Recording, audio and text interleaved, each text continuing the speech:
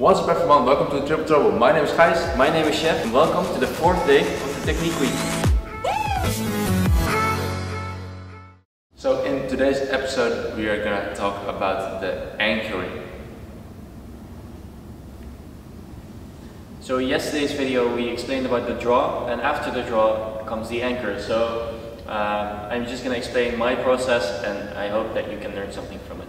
So you'll draw back your bow and then you'll need a place to find a solid anchor point and for me that's right below my jaw. Uh, I put my hand there and that's the moment I engage my back muscles and not only my arm anymore. So basically I lift my bow and draw it back and then go from arm to shoulder here. So you can see that my elbow sort of raises that's where I engage the muscles in my back and in my shoulder. So that's where I change from arm to shoulder.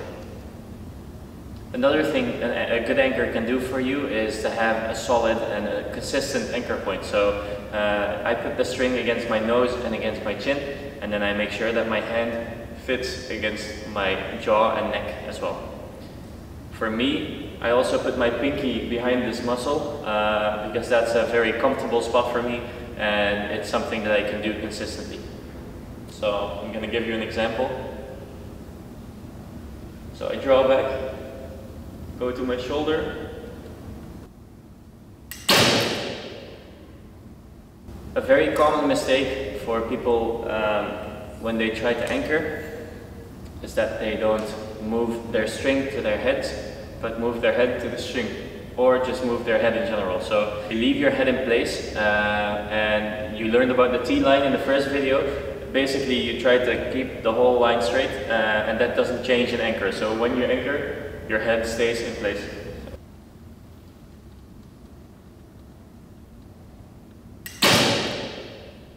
When you're anchoring, you want to turn your head to the target, but you don't want to do it too much or too little. Uh, it's something that you have to feel comfortable with. Um, I don't turn my head as much as other archers, but that's because it makes me uh, comfortable in my shot and it gives me a good consistent shot. So don't go all the way like this, because then there's no way you can anchor properly, and don't go like this, because then you cannot see where you're going. So try to find a good spot for you to have a solid point to anchor and uh, to have a relaxed neck and shoulder position. So that was it for the fourth day of the technique week. What did we learn today? Well, it's important to find a good anchor point and not to move too much while anchoring. So we hope you'll be back tomorrow. We're gonna talk about the extension of the shot. See you. Ciao.